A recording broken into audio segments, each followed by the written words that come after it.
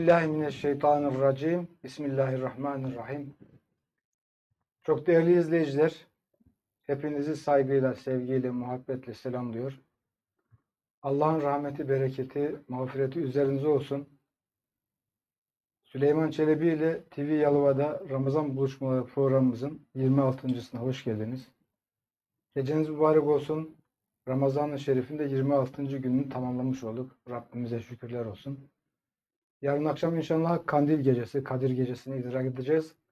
Şimdiden bu gecemizin de bütün İslam alemine hayırlara vesile getirmesini temenni ediyorum.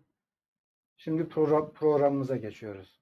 Allahümme inni es'elukel afwa vel afiyet. Allahümme inni أسألك العفو والعافية والمعافاة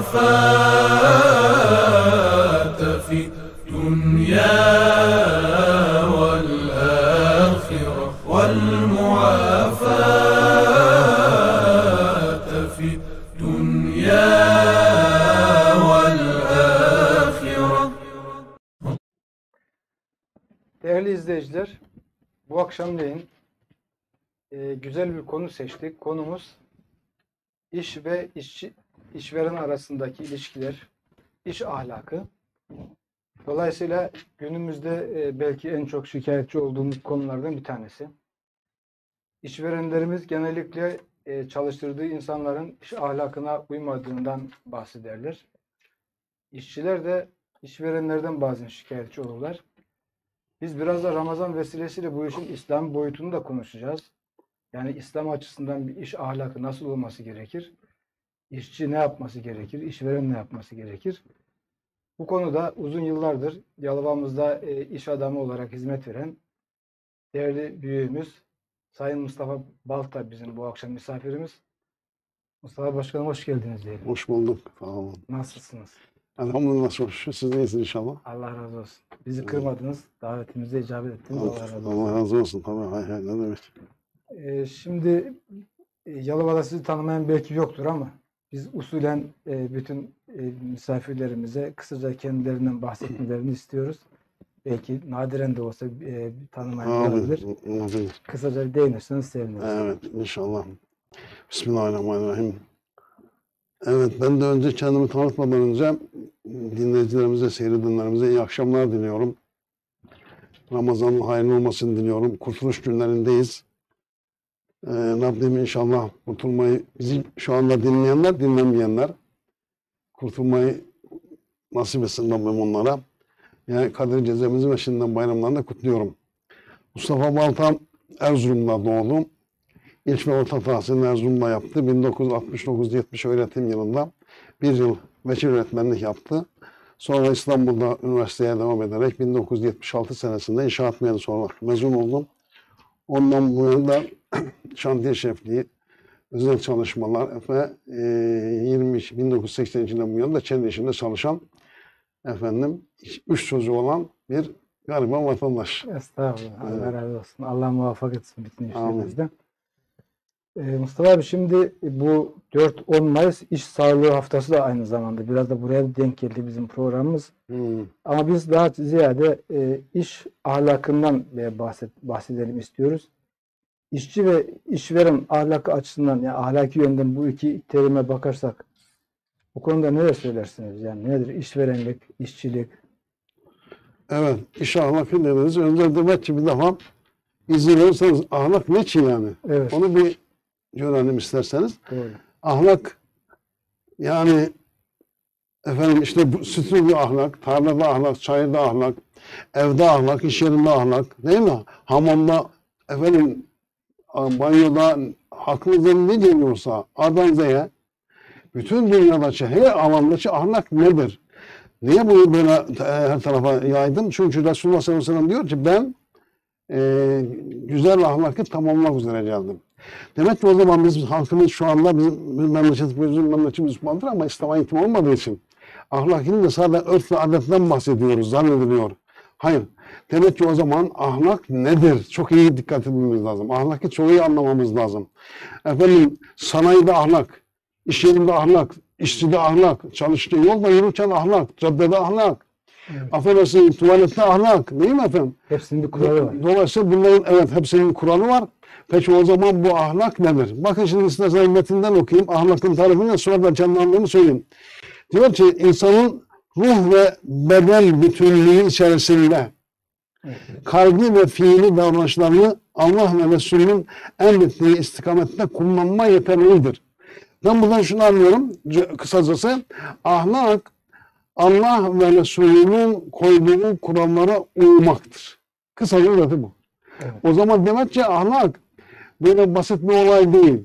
Her şeyde ahlak olduğuna göre bu tarifin içerisinde yaptığın zaman efendim bak yatakta ahlak, yürürken ahlak dedik. O zaman demek ki buyuruzda anayasa, anayasa sırtı ortada yani. Her şey ortada. Her şeyi tarif eden bir anayasal varken ama dünya bambaşka bir halde yürüdüğü için biz Müslümanlardan farkında olmadan başka bir anayasalarla bu, bu, bu şey yapıp duruyoruz. Efendim işte kendi e, anlaşamıyoruz anayasada. Siz başka yapıyorsunuz, ben başka yapıyorum. Evet. Sonra geliyoruz diyoruz ki ya ortak paydalarımızda buluşalım. E, buluştuk. Ortak paydamız olmayan iki tane olsa bile buraya geldiği zaman iş nasıl olacak? Yine bu. Demek ki problem olacak. Öyleyse biz aslında farkında olmadan kendi kendimize zulmediyoruz. Zulmeden bir toplum olduk kendi kendimize. Dünyada bunu Müslümanlar kendi kendine yapıyorlar. Müşriklerin peşine takılmış gidiyoruz. Öyleyse ahlakı bu tarif ettikten sonra ahlakın yanında hemen maneviyat da var. Maneviyat ne ki o zaman? Değil mi efendim? Maneviyat. Demek ki o zaman maneviyatı da iyi anlamak lazım ki ahlakla maneviyat bütünleştiği zaman insan nasıl insan olur? Maneviyat işte bu kurallar içerisinde yaparken, bir iş yaparken, biriyle konuşurken, efendim bir alışveriş yaparken, bir sanayi tesisi kurarken her yaptığın işin devlet memurusun bir şey yapıyorsun değil mi? İcra ediyorsun. Evet. Her yaptığın işin hesabını ahirette vereceğine inanmaktır. Ve onu da isterseniz ben tarifi metinden okuyayım. Maneviyat İslam'ı bir bütün olarak kavrayan ve dünya hayatında fert olarak, cemaat olarak ve düzen olarak yapacağı fiillerin tamamını ahiretteki hesabı düşünerek yapmaktır. Demek ki o zaman yaptığın her işi ne yapıyorsun? Kaldırarak yapıyorsun. Bu işin hesabını vereceksin arkadaş orada. Bunu düşündüğünüz zaman şey, dikkat ederseniz bakınız kendi kendimizi kontrol etmiş oluyoruz. Anayasa ortaya çıkıyor. Başka bir anayasaya ihtiyacımız yok. Polislere gerek yok. Hiçbir şey gerekiyor. Efendim ben bu, bu, bu dediğimiz bakınız şuradan bizim biz Müslümanız değil mi efendim? Bizim Kur'an-ı Kerim'imiz var. Kur'an-ı Kerim'de bir, bir asır suresi var. Ulema diyor ki bütün kitaplar kaybolsa Kur'an'da dahil. Sadece asır suresi kalsa diyor insanlığa yeter. Hakikaten izlediğimiz zaman görüyoruz ki hakikaten insanlığa yeter. Neden? Çünkü diyor ki işte siz, siz bir işin bir adamısınız, bunu biliyorsunuz. Efendim e, insanlar husrandadır. Allah diyor bunu. Diyor ki insanlar husrandadır. Kendi kulları için söylüyor. Nasıl husrandadır? Kesinlikle bu husrandadır. Yalnız şunlar hariç. Salih amel işleyenler, iman sahibi olanlar ve birbirlerine hakkı tavsiye edip sabır tavsiye edip, hakkı söyleyip sabır edip. Demek ki doğru söylediğinde sabır tavsiye edip ve işi bitirdiler işte bu kadar basit. Ama biz öyle değiliz. Ne yapıyoruz? Kendi kendimizi öyle bir perişan bağlamışız ki bu bağlam ve bütün insanlığı dünyada Allah diyor ki ben biliyorsun meleklere ben halife yaratacağım. Onlar ona işte ya Rabbi biz seni tesbih ediyoruz, seni büyü- büyüklüyoruz. Bu- Bunlar insana ihtiyaç var diyor. Ben sizin bilmenizi bilirim diyor. Peki yarattım, yarattım. Halife kim o zaman? Bakın halife yeryüzünde insandır ama Müslüman olan insandır. Müslüman olan halife değildir. Hatta dün bir, bir ayette okudum. Müslüman olmayanlar affedersiniz pislik sayıyor. Allah kendisi diyor. Onlar pisliktirler. Öyleyse biz şu anda farkında olmadan pisliğin kanunlarına uyarak devam ediyoruz. Ya yazık bize. Gelin kendimize dönelim. Esas'a bakalım. Ve kanunlara ihtiyacımız yok. İşte kanun ortada. Buna dayanarak da şey yapalım. Ondan sonra geliyoruz şimdi iş ahlakın. Ahlak işte buna uyduğun zaman. Bakın şimdi ben size bir tane örnek vereyim. Basit bir örnek. Bir düşünün bakalım. Valinin sofrasıyla fakirin sofrası aynı olsa bir hayal kuralım. İşverenin sofrasıyla işçinin sofrası aynı olsa nasıl bir hayat olur? Bir hayal kuralım. Toplum mükemmel bir toplum olur değil mi efendim? Ama biz öyle değil. Ne, yap ne yapıyoruz? İşçi işverene affedersiniz yine yapmaya çalışıyor. İşveren işçiye yine yapmaya çalışıyor. Yok bu ortam bu hoş bir düşünce değil. Bu, e, bu düşünceyle de toplum huzur bulmaz. Ama biz inşallah diyoruz ki gelin hakikaten bu toplumunda huzur istiyorsak işte bu ahlak tarifine iyi bakalım. Ahlakın ahlakın kuralları var. Her yerde kural var. Bakın e- efendim ahlak şahsi ahlak, ilmi ahlak, mesleki ahlak, siyasi ahlak. Yani ahlakın dört tane boyutunu sayayım şimdi. Şimdi bu şahsi ahlak nerede çalışır? Değil mi efendim? Ee, ilmi ahlak nedir, nerede çalışır? İşte siyasi ahlak nerede çalışır? Efendim e, mesleki ahlak nedir? Bunları gördüğümüz zaman göreceğiz ki eğer insanımıza bunları tamamen yerleştirirsek, bizim yüz yıldır eğitimimizde bunlar yok. Bunlar olmadığı için de insanımız çok şey durumda, zor durumda, zor durumu yaşıyoruz. Ya yaşatıyoruz birbirimize. Ama ne zaman ki eğer insanlık fark eder, Hristiyanla da dahil buna. Fark eder. Nasıl? Çünkü onların da biz kurtaracağız da biz farkında değiliz, onların da farkında. Onlar farkında değil, biz de farkında değiliz. Halbuki Hristiyan alemini de yol gösterecek biziz. Kendimize de yol gösterecek biziz. Bu bizi ortadan kaldırınca e, onlara uymuş dünyaya devam ediyoruz. Yani tabiri caizse e, toplum cehenneme doğru gidiyor. Biz de alkışlıyoruz ve onlarla beraber gidiyoruz. Allah yardım etsin bize inşallah. Bunu tam anlayalım diye düş- düşünüyorum. Çok teşekkürler. Ee, burada şimdi aklıma şöyle bir şey geldi. Sizin ahlak tarifini yaptığınızda e, diyelim ki bir işçi iş yerinde çalışırken e, İslam'ın öngördüğü ahlak kuralları yani çalmayacak, çırpmayacak, mal sahibine zarar vermeyecek, e, onun başında sürekli mas, e, patron duruyormuş gibi işini düzgün yapacak ama kendini hırpalamasına da gerek yok. Böyle diyelim ki orada ahlak kuralları neyse Şimdi bunları bir inancından ötürü, maneviyatından ötürü bunları iş esnasında uyguladığında aslında hiçbir sorun kalmaz hiçbir yerde. Mesleki ahlak dediniz ya. Abi hiçbir sorun kalmıyor. Hiçbir sorun kalmıyor. Aslında bugün biz yani mesela şöyle bir şey yapıyoruz. İş ahlak olmadığı zaman diyelim ki patronumuz baş- başımızdayken böyle çok canhıraş çalışıyoruz. Onu gözetliyoruz. Az kaydığı zaman biz de işi bırakıyoruz. Yani böyle bir şey düşünelim. Oysa Allah bizi görüyor. Maneviyat açısından bir hesap yarın gö- görülecek. Ee, burada böyle bir ahlak açısından bir sorun var sanki. Mesela işçinin e, ahlak açısını biraz değerlendirirsek, siz bizzat insanda çalıştırıyorsunuz, yıllardan beri bu işi yapıyorsunuz. Mesela işçiden ne beklersiniz bir iş, iş, iş esnasında? Şimdi bakınız tabii Allah razı olsun. Teşekkür ediyorum. İşçiden beklemek bence sen de bir personelle beraber bir iş yaparken eee havalar da soğuktu. Soğuk olduğu zaman işte Şubat ayındaydı. Baktım çok şey çalışıyor. e, hızlı çalışıyor. Beraber çalışıyoruz. Aynı şeyi yapıyoruz. Eee kazma kürekle beraber yapıyoruz. Siz de işveren olarak işin içindesiniz. Beraber, tamam beraber yapıyoruz. Dedim şey bir dakika terlemeyeceksin bu işin sonunda. Ben, ben gideceğim buradan şimdi. Terlemeden çalışacaksın. Şimdi biraz önce dediniz ki patron görüyormuş gibi. Evet. Hayır. Patron görüyormuş gibi değil. Allah görüyormuş gibi çalışacaksınız. İhsan, ihsan. İhsan diye bir maddemiz var. Bakın bizim aslında e, değerlerimiz var yani. Göre hareket edeceğiz? Şimdi e, 12 tane önemli değerimiz var. 12 farz diyoruz ben. Buna 12 farz diyorum. 12 tane farzı eğer eğitim sistemimizde her talebelerimize çocuklarımıza öğretmiş olsaydık o zaman işçi kontrole ihtiyacı yok. Canı kendinin içerisinde var. Bütün e, kabine var. Polisi var, jandarması var. Efendim aklına ne geliyorsa var onlar. Onlar kendi kendine kontrol edecekler. Nedir bunlar? Bakın inanç, ilim, ihlas, bunların hepsinin tarifi var. İttika, ittifak, iyi ahlak, ihsan, yedinci madde ihsan, iyi ile başlıyor bunu. İhsan sahibi olmak, ihsan sahibi olmak ne demek? İşte Allah görüyormuş gibi, Allah'ın gördüğü gibi iş yapmak. O zaman senin hiç başkalarına ihtiyacın yok. İstişare ederek çalışmak, itaat, itaat etmek ameline üstüne, sadakatli olmak. Sadakat çok önemli bir haslettir. Nefis terbiyesi yapmak ve infak yapmak. Şimdi bakın bunların hepsi inanç. Bizim halkımıza sorarsan 85 milyon insan hepimizin inancı var. Doğru mu? Var inanç yani iman. Güçlü bir iman. Yalnız her nasıl ki her şeyi koruyan bir ekip var. Nasıl ki emniyeti teşkil e, sağlayan e, işte Türkiye'nin emniyet güçleri var. Efendim sizin evinizde kendinize emniyet olacak bir takım tedbirlerimiz var değil mi efendim? Öyleyse imanı ne korur? İman var, Ne korur? Eğer şu beş haslet yoksa imanı koruyamazsınız. Ne diyorlar?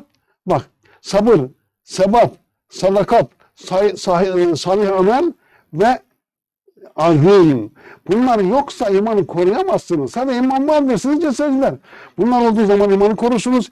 İman koruyunca da o zaman ilim sahibi olsun diye. İkinci madde işte ilim. İlim derken alim olacağı anlamında değil. Alimlerimiz olur. Ama herkes yaptığı işi biliyorsa bunda ilim sahibidir. Yani şimdi ben bir şoförün bildiğini bilmiyorum. bile. Bu adam o da ilim sahibidir değil mi? Ona soracağım. Efendim bir makine operatörü, makine kullanan bir arkadaş oyun kullanmayı bildiğine göre bu işin şeyi Uzmanı ilim, ilim sahibi o. Öyleyse demek ki ilim sahibi olacak. Ne de yaptığı işte ilim sahibi olacak. Sonra ihlas diyor. İhlasın hani dinleyenler baştan demedim ben o şeye belki daldım. Bizi dinleyenler şimdi belki biz yeni bir şey söylemeyeceğiz. Aslında Hazreti Adem'den bu yana her şey söylenmiş. Bir hazine dolu. Doğrular. Yanlışlar da var. Yanlışların farkında olup da tercümetlerimizi atmışız ama diğerleri duruyorlar. Neden? Zaten Mehmet Akif diyor ya eğer ders alsaydım tekrar e, tekerrür etmezdi tarih. Doğru tekerrür eder, yanlış tekerrür etmez. Öyleyse bizim şimdi ihlas yani millet biz dinlerken biz yeni bir şey söylemeyiz. Peki ne yapacağız? Tekrar yapacağız. Tekrar tekamülü getirir. Tekrar yapacağımıza göre e, efendim herkes yeniden hatırlasın diye söylüyoruz bunu. Yoksa e, biz onlardan bilginiz de şu anda biz anlatacağız. Onlar öğretsin anlamında değil. Şimdi e, günde 40 vakit namaz, 40 rekat namaz kılıyoruz. Eğer 40 rekat namazda tekrar olmasaydı Fatiha okumazdık. Sabahtan bir sefer okurduk kalırdı. Demek ki o zaman tekrar çok önemli. Hatta hadislere bakıyoruz. Peygamberimiz diyor ki sallallahu aleyhi ve sellem din nasihattır. Çok önemli bir kavram bu. Din nasihattır. Bak başka bir şey yok. Yani siz öteki Ahmet, Mehmet, Hatice teyze çocuğuna nasihat edecek kendi dinini. O da çocuğuna, o da çocuğuna din nasihatlerine devam edecek. Kural, kural burada işte. Ahlak anlayışını koyacaksınız ve nasihatle devam edeceksiniz. İhlaslı olacağız. İttika ne? Kimsenin dedikolusunu yapmadan iş yapacağız. İş, Kendi işimize bakacağız. Tabii, şöyle şimdi bakacağız. İt, ittifak ne? Birlikte beraberlikte yapacağız. Ben sana ne yaparım? Hiçbir iş yerinde bir işçi, bir personel eğer sadakatla işine başlamışsa, helal kazanmak istiyorsa, sabahtan işine girdiği zaman hatta işine niyet etse ki ya Rabbi ben burada çalışacaksın, mecbursun çalışacaksın değil mi? O için mecbursun. Niyet etse ki ben ya Rabbi senin rızan için bu işi yapmak istiyorum. İbadet başladı. Hayatı ibadet ya. Her şey ibadet. İşveren maaşını öderken dese ki ya Rabbi senin rızan için bundan maaşını ödüyorum. İbadet yapıyor. Öyleyse biz değerlerimizi unutmuşuz Sayın Hocam. Değerlerimizi unutunca da her şey battı gitti. Bambaşka yerde arıyoruz. Yani biz şimdi başka yerde değer arıyoruz. Halbuki kendi değerlerimiz var. İttifak ederek, istişare ederek. Efendim sonra diyor ki sadakat, sadık olmak çok önemli bir haslet. Biz bunları kaybettiğimiz için bugün işçi patron ilişkilerinde bakınız eee, efendim eee, işte bu iş yerinde çalışan e, personelden birisi önüne bir iş geldi. Bu onun değil benim deyip hemen işi yapsam. O da onu yapsa bir yerde 50 kişi çalışıyorlarsa öyle bir an olsa ki bu 50 kişiden birisi hepsi dese ki işlerinde kimse kimseye bir şey demiyor ama diyor ki ya benim ne güzel iş yerim var. Ya benim ne güzel iş arkadaşlarım var dese bu iş yerini kimse batıramaz Allah'ın izniyle. Evet. Neden? Çünkü e, burada bu taraftan da işveren de ayrı düşünürse çünkü diyor ki hadisinde sallallahu aleyhi ve sellem e, şu üç hasleti e, yapan Allah'ın koruması altındadır. Nedir o? Bir, zayıflara merhamet göstermek. Bu zayıf kim? Karıncadan zayıf kardeşimize kadar. Merhametli olmak. İki, elinin altındaki idare ettiği kişilere iyi davranmak. Bu kim? Evdeki aile reisi, evli çocukları, annenin çocukları değil mi efendim? Evet. İş yerindeki işveren. Ha, iyi davranmak. Üçüncü madde annesine, annesine babasına itaat etmek, iyilik yapmak. İşte bunları yaparsa bir adam, bunları yaptığı zaman Allah'ın izniyle, Allah'ın korumasında olacağına göre ya güçlü bir adam oluyorsun kardeşim ya. Gücün var senin. Ha, personeli kontrol gerek var mı? Yok. Ben bunu anlattığı zaman personel kontrol gerek yok. Sadece kontrol şöyle yapacaksın. Diyeceksin aman ha dikkatli ol. Terleme işte. Terlemeyeceksin. ben personelimle zaman zaman toplantı yapıyorum. Ben şu, belki kendim, kendim kural koymuşum ama bu kurallar bir yerde vardır mutlaka. Ben yani kendimle koymuş olamam ama benim şantiyemde böyle konuşuyorum. Ne diyorum? Diyorum ki bak önce güvenlik. Emniyet. Nedir emniyet? Bak yaptığın işi yaparken bakacaksın ki ben emniyette miyim değil miyim? Baktın ki emniyetteyim. Canını koruyacaksın. Kendini koruyacaksın. Tabii emniyetteyim. Tamam yapmaya devam et. İkinci madde kalite. ben bu işi yaparken emniyet aldım kendimi kaliteli bir iş yapacağım diyeceksin. Kaliteye önem vereceksin. Üçüncü madde bu kalitenin malı nasıl seri üretirim? Sen Allah'ın kulusun. Her şeyin ver. Allah'ın vermiyor. Bunu nasıl diyeceksin. Bunu bu sefer yapacaksın. Dördüncü, üçüncü madde bunu nasıl uzun zaman ederim? Ekonomi yani. Dört madde. İşte güvenlik, yani emniyet, kalite, e, e, şeyin, e, verimlilik ve e, ekonomi. Dört madde. Burada çay koydun mu? Yok koymadım. Bunları yaparsan çay zaten gelir kendine. Kendiliğinden çıkar ortaya. Bizim işimiz gücümüz ne biliyor musunuz Sayın Hocam? Bizim işimiz gücümüz kurallara göre yaşamak, kurallara göre iş yapmak. Yapınca hepsi tamam. Neden böyle diyorum? Ya şimdi varlığıma ya biliyorsun Teşar suresinin birinci ayeti geldiği zaman Peygamber Efendimiz diyor ki bakın onu da şuradan metinden okuyayım. Teşar suresinin e, birinci ayeti geldiği zaman diyor ki ayette çoklukla övünmek sizi meşgul etti diyor. Varın kabire kadar bakın ba- kabirde aldığı zaman göreceksiniz. Çoklukla övünmek yani hem ailede şu aile evladım çok, malım çok vesaire. Bunun övünmesi yani Peygamber Efendimiz bahane diyor. Diyor ki ey Adamoğlu malım malım malım malım ver bulunsun. Bir bak bakalım yiyip içip gittiğinden, yiyip içip giydiğinden, yiyip eksikliğinden ve sadaka verip vermişsinse onun sevabını beklemekten başka hangi malım var? Hakikaten bir düşün şey o zaman malınız var, her şey var. Yok yok. Karnını sok. Bir saat sonra öleceksiniz ama bilmiyoruz. Öleceğinizi bilmiyoruz değil mi efendim? Evet. Bir saat sonra öleceksiniz. Ya Allah aşkına şimdi bu mal ne ya? Bunlar, bunlar personel kısımlar. Öyleyse biz demek ki çok dikkatli yaşamak durumundayız. Personel böyle yaşayacak efendim ve bu, bu kurallara uyduğun zaman kendine emniyet alacaksın. Sen insansın, Allah'ın kulusun, Allah sana akıl ve emniyet alacaksın. Kaliteli malı diyeceğim, bir niyet diyeceksin. En iyi malı diyeceğim ben. Evet, kaliteli malı en seri şekilde üreteceğim. En seri şu içinde kaliteli malı en uzun zaman üreteceğim diyeceksin. Ve beraber çalışacaksınız. Huzur içerisinde hayat süreceksiniz. Şimdi bir, bir düşünün şimdi kahve, kahveci kahve yapıyor, çay yapıyor. Temizlikçi temizlik yapıyor. Bir işini hayal kuruyorum. Efendim affedersin temizlikçi temizlik yapıyor. Çaycı çayını yapıyor. Operatör makinesini kullanıyor. Şoför kamyonu kullanıyor. İşte patron, ben patron kelimesini çok sevmiyorum da patron yanına işverenle her tarafı kontrol ediyor. Çalışıyoruz değil mi efendim? Akşam payını sayıyoruz. Evlerimiz gün sabahdan gün çalışıyoruz. Sürekli yapıyoruz bunu. Bir anda zil çaldı. Hop çağırdılar. Deprem oldu çıktık ya meydana. Evet. Zil çaldı herkesi çağırdılar. Nereye gidiyorsunuz? Rabbim çağırıyor, yüzüyle geleceksiniz. Şimdi senin orada operatörün, patronun, benim şunu bunu bilen var mı? Hep yoldayız. Öyleyse kardeşim gelin dikkatli olalım. Çağrıldığımız an hiçbir kimsenin ne operatörün, operatörlüğü var, ne şoförün şoförlüğü var, ne patronun patronluğu var, ne mühendisin mühendisliği var, ne doktorun doktorluğu var. Hiçbir şey yok. Allah'ın karşısında kuldarsınız. Şimdi gelin bakalım ne yaptınız? Hadi bakalım. Sıfatlar bitiyor. Zil, tabii zil çaldıran. Şimdi zil çaldırırsa başlamıyor muyuz? Öyleyse o zil çaldığı zaman Allah muhafaza çok dikkatli olmamız lazım. Çok dikkat etmemiz lazım hayatımıza. Şimdi o bakımdan hakikaten biraz önce dedim ki yani e, efendim bizim e, şeyin e, varlığın sofrasıyla fakirin sofrası aynı olduğunu bir hayal kuralım. Hakikaten o topluluğu düşün. Huzur içerisinde yaşayan bir toplum. Ama şu, şunu öyle mi? Biz fakir zengininden çalmak istiyor. Yani şimdi inşallah e, ağırlarını gitmez ama e, bu toplumu bu hale getirdik. Efendim işçi sendikalarımız var. Biraz evvel soracaksınız. Bakın şimdi 1 milyon yani ben 20 lira biliyorum. 20 lira biliyorum ayda fazla var mı bilmiyorum ama 1 milyon üyesi olan bir sendika ayda 20 milyon para topluyor. Değil mi? Şimdi bu parayı nereye koyarsınız? Senede ne kadar? 10 senede ne kadar eder? Ya ne varsa sendika binalarımız var. Ankara'da büyük bir işçi oteli var. Lüks otel. O iş, belki işçi orada kalmış değil. Yani e, biz bizim toplumda kalıyoruz da. Orada Anadolu Oteli bilmiyorum gitmiş misiniz? Şimdi bunlar sendika patronlarının yaptığı oteller. Bunlar ne istiyor bunlar? Toplumu huzursuz etmek için yapılan tesislerdir. Yıllarca sene onlar için değil. Yıllardan beri Türkiye'de 1963 senesinden beri sendikacılık başlamıştır. Ve işçi işveren. Bütün kanunlarımız işçi işverenin arasını aşmak için yapılmıştır. Ben bir şey diyorum. Dinleyen bir siyasetçi varsa baksın.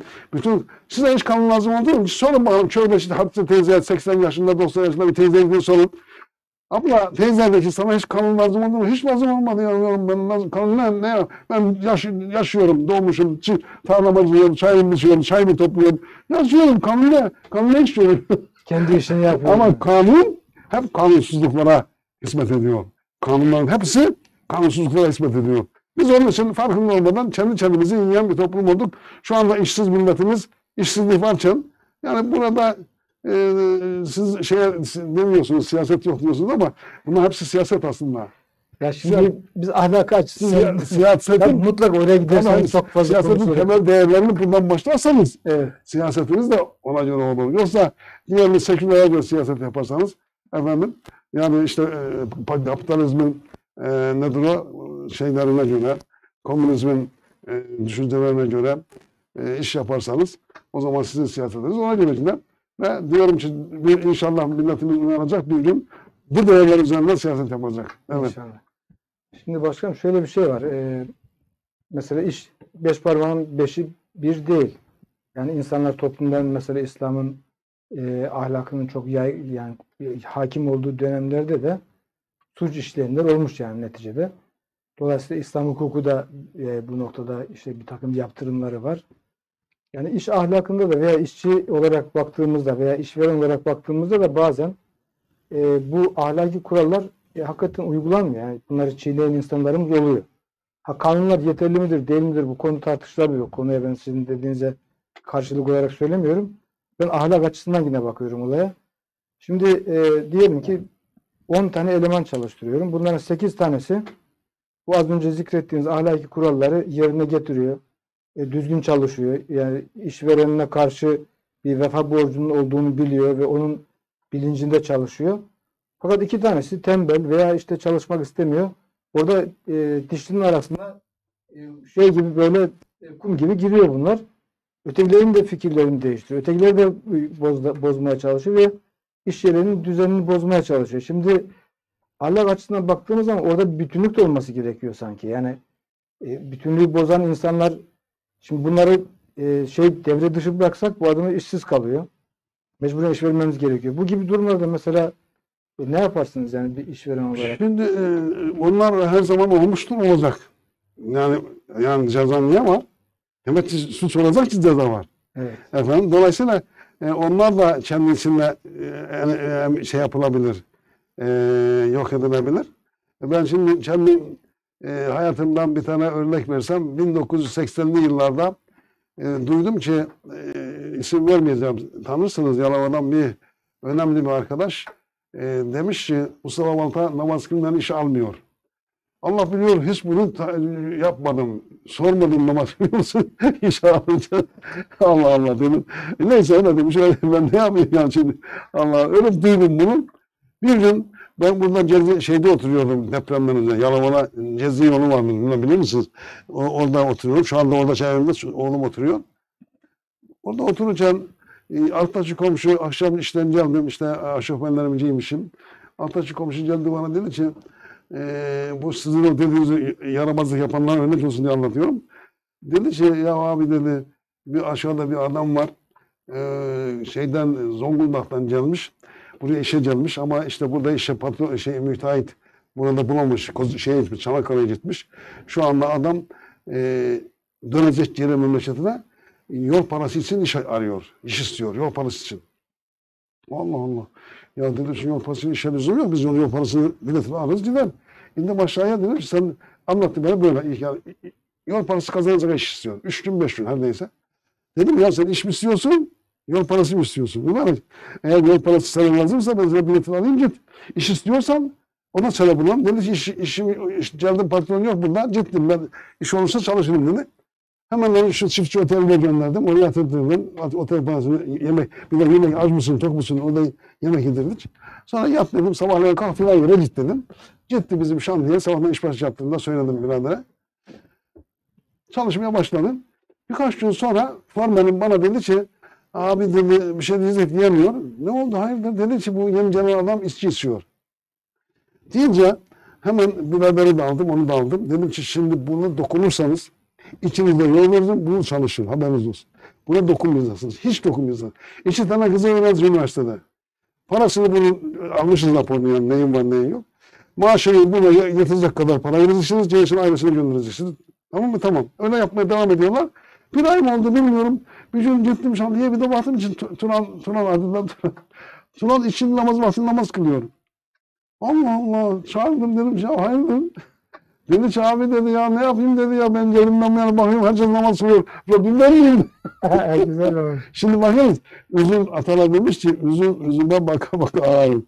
Dolayısıyla onu emir edilebilirler. Güzel örnek olmuş ama yani. Tamam edilebilirler ama önce cenabını yapacağız. Ama buna rağmen yaramazlar olur mu? Olur. Bunlar da imtihan sorusu. Bakayım nasıl davranıyor Rabbim ben şöyle öyle birisine yapar ki bakayım nasıl davranıyorum değil mi? Evet. Hep birden olmayız yani hakikaten. Onlar da olacak. Biz sadece anayı, ana gövdeyi böyle götürürsek diğerleri inşallah uyarlar diye düşünüyorum. Allah razı olsun. Ee, biraz hep işçi üzerinden soru sorduk ama yani ben buradan şimdi şunu anladım sanki. Yani işçilerin biraz e, düzgün olması, ahlaklı olması biraz işverene de bağlıdır gibi bir anlam çıkarttım sizin konuşmalarınızdan. Tabii. Diyebilir miyim Tabii hep beraber mi? Tabii tabii. Sen şimdi işveren mesela e, ben şimdi Allah kabul etsin dua ediyorum diyorum ki ya Rabbi bunların haklarını vermemi nasip et bana. Hak ne? Şimdi bakın bunu derken hak ne diye düşünmeye başlıyorum. Yani efendim işte şu maaş piyasada şu kadar 10 lira. Sen 10 lira veriyorsun. Hak bu mudur? Ya ama piyasada bir lira fazla veriyorsun ya. Hak bu mudur? Bilmiyoruz. Hakkın esası ama Allah bilir. Diyorum ki ya Rabbi neyse hakları bana verdin. Ama bugün şu, şu anda memleketimizde 2800 lira asgari ücret var değil mi? Evet. Şimdi bu hak mıdır Allah aşkına ya? Bu nasıl ya? E, Niye böyle peki? Orası devrin işte.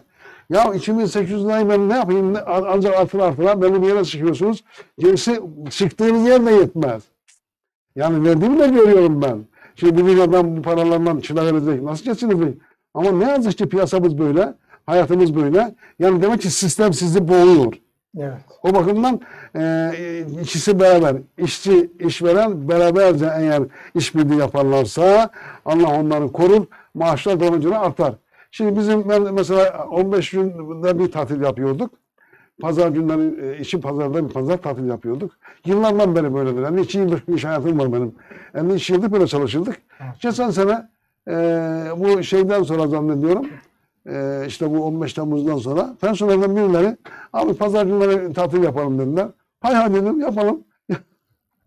ya, ya dedim ki pazar bunları dört pazar şimdi tatil yapıyorlar. Şimdi sonra ben dedim ki ya tamam bunu kabul ettin mi deseydim ki tamam her gün bir saat sonra çalışalım. Bir pazar tatil yapalım değil mi? Evet. Şimdi evet çalıştırdık her gün 5 günle 6 günle 6 saat zaten yeterli. Evet. Ama sonra da onası da şeyi kesiyordu. 8 saati kesiyor. Ya hayırlı olsun boş ver. Canım yanımda kendi kendimle konuşuyorum. Demek istiyorum ki yani muhakeme yaptığınız zaman kendi kendinize de tartışabilirsiniz. Allah diyor ki Cenab-ı Hanım hiç tefekkür etmiyorsunuz. Hiç düşünmüyorsunuz ya arkadaş ya nasıl siz niye böyle düşünmeden hareket ediyorsunuz? Bakın bunun en güzel örneğini de biliyor musunuz? Sayın Hocam e, Ali, Ali İmran yok Ali İmran da var, 260 Yahut 60. 60 evet. 60'dan 70'e kadar ayetler. Yanlış söylemeyeyim. Ali İmran 60'dan 70'e kadar. Öyle ayetler var ki diyor ki adeta bizimle konuşuyor. Diyor ki siz diyor bildiğiniz konuyu konuşuyorsunuz diyor. Tamam konuş tartışın. Ya bilmediğiniz konuyu niye konuşuyorsunuz diyor ya. İbrahim diyor. Yahudiler şu anda bu İbrahim'i Hristiyanlara yöneliyorlar ya. İbrahim diyor geldiği zaman İncil de yoktu, Tevrat da yoktu. Tevrat da İncil de İbrahim'den sonra geldi diyor. Siz niye İncil'den Tevrat'a bağlıyorsunuz, İbrahim'e bağlıyorsunuz? Bu kadar açıkça bizimle e, sohbet ediyor Rabbimiz. Ama biz farkında olmadan, düşünmeden hareket ediyoruz. Yani biliyorsunuz e, Cenab-ı İmran 180, 189 zannediyorum. Estağfurullah. Ellezine yeltune şavva, ellezine Yani. ellezine yasbunallah lillahi yani ya- onlar yatarken, otururken, Evet. ayaktayken şu anda ayetin Kıyamen ve kuvveden ve ala cunubihim Ha, ve bana- fi ard. Evet ben anladım. Orada diyor ki ayaktayken, yatarken, otururken e, tefekkür ederler. Ya, ya, Rabbi sen bu dünyayı, bu alemi böyle boşuna yaratmadın. Yani hakikaten madırlar diyor ona. Hat, boşuna yaratmadın diyor. Diyor biz ama biz buna farkında değiliz. Bir var, mıydı? Vardır inşallah. Ondan sayesinde belki de düzenimiz bozulmuyor. İnşallah bütün toplumumuzu bu hale gelirse, fark edersek huzurlu o zaman olur. İş yerlerinde, şimdi öyle iş yerleri vardı ki mesela işçi, işverenin bütün dediklerine uyar. Hiç tereddüt etmeden yapar. Ama bir yerde vardır ki orada yaşanıyor. O cümlece olmaz. E bu şey değil, bu hoş bir şey değil. Bunun sebebi ne? Bütün kanunlarımız işçi işveren arasını, bunu çok iddialı söylüyorum. Bütün kanunlarımız işçi işveren arasını açmak için yapılmıştır. Bak bir tane örnek vereceğim size. Burada eskiden e, yalan şey içen, şey içen e, çözümletmen şantiyesi vardı. Çözümletmen şantiyesinde e, bir şoför, ben tanıyorum. Şoför, kamyon şoförü ama ona e, şey vermişler, silindir operatörü vermişler. Silindir operatörü yapacaksın. Sendika demiş ki eşinden başka iş yapmayacaksın. Sen çaycısın, çaydan başka iş yapmayacaksın. Sen şoförsün, şoföründen başka iş yapmayacaksın. Kamyon yanarken adama kamyonu kullandırtamadılar. Niye? Ben, ben silindir operatörüm. Ya bu nasıl yapı ya? Bunun için yaptı mı bu hale getirdi? Yani demek ki o zaman insan başı ana cevheri yok ettiler. Ana cevheri yok edince ahlak kalktı, her şey bitti. Evet. Maneviyat kalktı. O, o bakımdan bizim önce kendi, tam baştan dediğim o kurallara dönmemiz lazım. Ahlak. Nerede ahlak? Çayırda ahlak, tarlada ahlak, sanayide ahlak, maşinede ahlak, evde ahlak, efendim, e, fırında ahlak, çarşıda ahlak, aklına ne geliyorsa. Onun için ahlak öyle basit bir olay değil. Biz ahlakı terbiye zannediyoruz. Yani tabii tabii orada da ahlak var da adamı maşeret demişiz ona. Canmışız değil mi? O bakımdan bizim e, bu değerler üzerinden toplumumuzu nasıl dizayn edilir diye bunu yapmamız lazım. Evet. Şimdi bizim mesela hepimizin toplumumuzun da şu an dünyanın da bildiği bir hadis vardır. Efendim bu hadis der ki Allah Resulü sallallahu aleyhi ve sellem bir, bir kötülük gördüğün zaman dedim ya biz herkes, herkesin bildiği şeyleri konuşuyoruz yani yeni bir şey yok ki. Bir, e, bir kötülük gördüğünüz zaman önce elinizle müdahale edin. Eliniz yetmedi, cüzünüz yetmedi, dilinizle müdahale edin. Onu da yetmedi, kalbinizde buğz edin. İmanın en zayıfı budur diyor. Şimdi bunu bir gün bir yerde bir yorum yaptılar. Bir, bir, bir e, abimiz yorum yaptı, yorum yaptırdılar. Bu yerde 1997 Erbakan Başbakan biliyor musunuz sana? Dedim ki ben yorumu dedim cüne, yoruma cüne getirdi yani cümleleştirdiler. Dedim ki ya izin verirseniz bu murabide ben yorum yapabilecek getirebilir miyim? İzin vermediler. Sonra e, işte şey vardı, evvelciler müdürü vardı. Tane doktor vardı. Efendim telekom müdürü vardı. Bunlar itiraz. Şimdi abi yorum yapsın bakalım ne var yapsın. Para verdiği için. Evet. Dedim ki bakın arkadaşlar bu hadisin yorumunu bugün güncellemeye kalkarsak bu hadisi ben şöyle yoruyorum. Ben e, inayetçi değilim. Ben insan mühendisiyim. Bu hadisin yorumu şudur. Bir kötülük gördüğünüz zaman elinizle müdahale edin şeyi, eylemi. Ben bu sokakta bir çöp var orada müdahale ederim. Siz öteki sokakta var orada müdahale edersiniz. Öteki orada caddede bilmem ne. Bu, bu şey yapar. Kargaşa doğurur. Anarşi olur. Toplum karışır birbirine. Bu senin işin değil. Bu kimin işi? Bu devletin işi. Varlığın işi. Bu kötülüğü o yok edecek. Değil mi efendim? Yani diliyle müdahale edecek. Diliyle de cuma gününden cuma günden toplum bir araya geliyor namaz kılıyoruz. O da alın çıkacak kürsüden diyecek ki bu hafta şu olay şu, önümüzdeki hafta şunlar olmasın. Anladınız mı diliyle? Ha, devlet kalbim bozdu. O da benim işim, vatandaşın işi. Doğru. Şimdi bunu, bunu yapınca tabii hoşlarına gitmedi arkadaşlar. bir, bir grubun içerisindeymiş. Evet. Hoşlarına gitmedi. Hoşlarına ama işin gerçeği mi ya? Bu Peygamberimiz Huzur'un demiş aynen böyle mali böyle. Ama sen bunu bugün kalkarla efendim Günya sokakta bu bu var Mustafa Balta müdahale ediyor. Efendim e, İstanbul Caddesi'nde bir müdahale var. Bir müdahale ediyor. Bir olay var. İşte e, Cumhuriyet Caddesi'nde bir var. Ona Süleyman Bey müdahale ediyor. O zaman anlaşıldı oldu ya. Karıştık birbirimize değil mi efendim? Şimdi top, toplumu ıslah edemezsiniz. Hayır. Siz karışmayacaksınız. Onu emniyet yapacak, vilayet yapacak, büyükse devlet yapacak. Benim işim değil o. O bakımdan biz kendi değerlerimizi kaybettik. Hakikaten bu değerlerimizi kaybedince de maalesef aynen başka yerde arıyoruz. Nasrettin Hoca bir şey kaybetmiş ya, anahtar mı kaybetmiş? Siz daha iyi bilirsiniz. Sonra çıkmış dışarıda arıyor. Hocam ne arıyorsun? İşte anahtarı kaybettim. Arıyorum bulamıyorum. Nerede? Nerede kaybettin? İçeride kaybettim. E, burada arıyorsun. Diyor orada karanlık diyor. De hakikaten kaybettiğimiz yerde aramıyoruz. Gitmişiz Avrupalarda arıyoruz. Yapmayın. Gelin kendinize diyelim. Ya bu iş fırsat düşmüşken ben bir şey yapmayın. Tekrarlamam lazım. Ben de tekrar yapacağım. Avrupa'dan bize hiçbir fayda gelmez.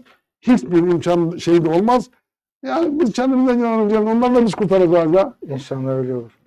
E başkan böyle zamanımız birden doldu. Sizinle sohbet çok güzel oluyor ama hızlı bir şekilde zaman geçti. Ben şöyle bir iki şey kısa olursa bir iki soru sormak istiyorum. Bir tanesi şey az önce siz zikrettiniz. Yani dediniz ki e, bir yani e, işverenle işçi aynı sofraya oturabilirse, valiyle e, tebaası aynı sofrada oturursa e, işler değişir diyorsun. Mesela şöyle bir şey oluyor bazen. İşçi diyelim normal şartlarda çalışıyor. Belli bir maaş alıyor. Bakıyor ki e, başındaki e, şeyi patronu diyelim. Çok aşırı derecede israf yapıyor. Çok aşırı derecede lüks bir hayat yaşıyor. O hayata karşı kendisine verdiği maaşla bir kıyaslama yapıyor. Ya diyor ki bu burada büyük bir uçurum var diyor. Yani ben e, patronuna karşı bir noktada e, şey alıyor, cephe alıyor. Hatta ona bazen zarar vermeye çalışıyor o görmediği zamanlarda. Zarar vermeye çalışıyor. Bu, az önce anlatmak istediğiniz buna yönelik bir şey miydi sizin? Tabii bak şimdi Peygamber Efendimiz diyor ki bizim ölçümüz belli ya. Evet. Biz de kendimizden, kendimizden bir şey çıkaramayız yani. Kendimizden çıkarırsa işte bu dünya bu hale gelir. Peygamberimiz diyor ki yediğinizden yedirin, giydiğinizden giydirin. Şimdi bir işçi ben beraber masada sofrada, sofrada olmayabilirim ama varlığı sofrasında ne varsa fakirin sofrasında o varsa problem bitmiş. Evet. Yok o, orada fa- şey bu. Varlığı sofrasında yani aynı sofrada olmayabiliriz. Tabii mutlaka. Ama burada ne var? Burada da var. Şimdi Allah'a çok şükür bir sofra bir e, diyor ki yediğinizden yedirin, giydiğinizden giydirin. Siz ne yiyorsunuz? Bak evinizde aldığınız peynirin eğer bu, bu peyniriniz kalite kalite değil mi peynir? Eğer evinizde aldığın peynirin iş yerinizde başka peynir alıyorsanız ya işte e, daha ucuzu yok kusura bakma siz kaybettiniz.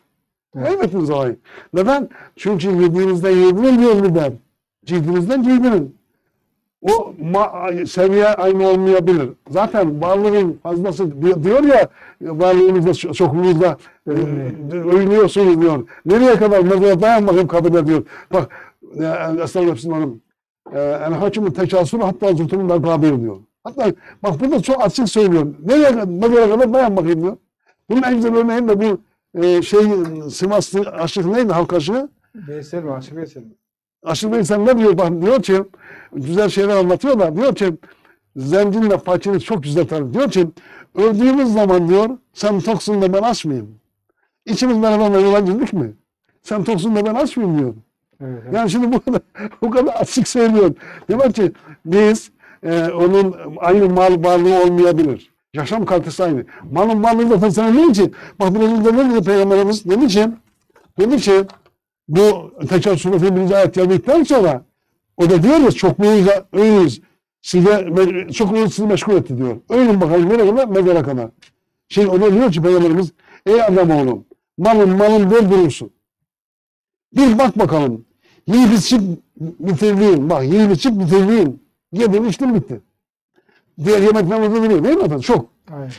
Cip eksikliğinle sadaka verip sevabını beklediğin, sadaka verip sana sevabını alacaksın. Bundan başka hangi malın var? Yok kardeşim ya. Demek ki o zaman senin malın varlığın paçinle şey aranızda fark yok. Aynı yerde, aynı seviyede yaşıyorsanız sen buradan kalkıp bir yere hemen seyahati rahat yapar, yapıyorsan, o da yapıyorsan, akşam sofrada efendim ne yiyorsan o da yiyorsa problem bitmiş. Evet. Diğer mal varlığı o biraz Allah'ın konusu. Yani e, Tabii hepsi- eşit- o eşitlik sağlanamaz. Sağ, sağlanamaz o. O Allah'a ait bir konu. Bilemeyiz ki şimdi. Rızık iki türlüdür. Birisinde biz çalışır, çabalar, koşar elde edersiniz.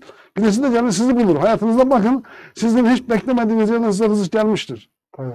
Olmuştur yani bu. De Evet, olmuştur. evet, evet. Herkes kontrol etsin. Neyse demek ki Allah'ın verdiği değil. Sonra başka bir ayette diyor ki biz bazılarınızın rızıklarını bazılarınıza göndeririz. Demek ki o zaman sizin görevinizi siz yapmadınız. Burası senin değil. Burası Allah'a ait. Sen bu işte görevlendirilmişsin. Eğer çok iyi bir işse şükret ya Rabbi bana bu görev vermişsin. Yani sana senin komutan yapmış seni. Ne kadar güzel. Ama bunu ben yaptım, ben ettim derseniz yok o zaman kaybettiniz. yani. Kaybedersiniz. Evet. Ee, Mustafa abi şimdi e, programımızı bitirmek istiyorum da zamanımız çünkü epey geçti. Son mesaj olarak izleyicilerimize aktaracağınız bir mesajınız varsa kapatalım programımızı onunla beraber. Allah razı olsun. İşte bu e, bizim e, esas olarak işte, işte e, personel milletimize şunu demek isterim. Biz çok yerde düşünmeden hareket ediyoruz. Gelin düşünelim. Düşünerek iş yapalım. Hakikaten Düşünmek çok iyi bir nimet ama bu nimeti kullanmıyoruz. Bilerek söylüyorum. Düşünmek çok iyi bir nimettir. Tefekkür etmek çok iyi bir nimettir. Allah da diyor ki hiç düşünmüyorsunuz, hiç akletmiyorsunuz. Neden akletmiyorsunuz? Niye düşünmüyorsunuz? Tabii ya Raide bu Cumat Kezban derken 32 tane mi saydım ben? Kaç tane var? Öyle bir şey var. Bunu niye diyorsun? Biz her işimizi düşünerek yapacağız. İstişare yapacağız. Allah Resulü işlerini istişareyle yapmış. istişareyle yapmış. istiareyle yapmış özel durumlarda. Dolayısıyla biz de işimizi eğer düşünerek ne yapıyorsak ne yapıyorsak çorba pişiriyoruz. Düşünerek yapalım. Evi temizleyip düşünerek yapalım. Bir iş alacağız. Düşünerek yapalım. Bir siyasi çalışma yapacağız. Ben bunu nasıl yapayım ki hem dünyama hem ahiretime faydalı olsun. Ve dünya ve ahiret hayatıma faydalı olan, hayırlı olan işleri istiyoruz Rabbimizden. Rabbim bize dünya ve ahirette hayırlı olacak işler nasip etsin diyorum. Kendi içinde kullanmasını diliyorum. Hepinize iyi akşamlar diliyor, saygılar sunuyorum. Allah razı olsun. Çok sağ olasın. Biz de size Niye böyle çabuk bitti ya? bir zaman hızlı akıyor demek ki. Ee, çok kıymetli izleyicilerimiz e, Mustafa Balta Beyefendi ile e, güzel bir akşam geçirdik. Gerçekten e, çok hızlı anlatmasına rağmen zamanımız çok kısa zamanda bitti, tükendi. Ama benim ö- e, anladığım özet birkaç cümle aktarmak isterim sizlere. Yani iş, işçi ahlakı, işveren e, ilişkileri boyutundan baktığımız zaman her şeyin temelinde ahlakın her şeyi çözeceği noktasındaki tespitlerine ben de katılıyorum. Çünkü kanunlar insanları e, yola getiremiyor. Yani bir kanunda hırsızlık suçtur. İnsan yakalanıyor, hapse giriyor, çıkıyor, tekrar çalıyor. Tekrar giriyor, tekrar çıkıyor. 50 kere girip çıkıyor, yine çalıyor. Ama ahlak kuralları olduğunda bunun böyle olmadığını görüyoruz. Çünkü onu Allah'ın gözetlediğini bilen bir insan bugün olmasa da yarın bir hesabı olacağını bildiği için onun eli kendine ait olmayan bir e, mala uzanmayacaktır. İş e, ortamında da çalışan insanlarımız, memurlarımız, her kimse, kim nerede çalışıyorsa bir ücret karşılığı. Orada işini ahlak kurallarına göre yaparsa, bir hak hukuk e, pencere, penceresinden bakarsa, e, işverenlerimiz de bu mantıkla olaya yaklaştığında e, ben de inanıyorum ki gerçekten toplumumuzda ne işçi sorunu ne işveren sorunu yaşanacaktır. Bu ahlakı aile ortamında başlayıp e, devlet kademelerinde, çevremizde her tarafta almamız gerekiyor. Allahu Teala bize e, bu güzel ahlakı her ortamda nasip eylesin diye ben de dua ediyorum. E, bizi dinleme zahmetinde bulunduğunuz için hepinize teşekkür ediyoruz. Zamanınızı bize e, tahsis ettiniz. Yarın akşam bir başka konuğumuzla Kadir Gecemizi inşallah e, konuşacağız. Hepinize hayırlı akşamlar dilerken yine bizi sizinle buluş- buluşturan yayın ekibimize ayrıca teşekkür ederek hepinize Allah'a emanet ediyorum.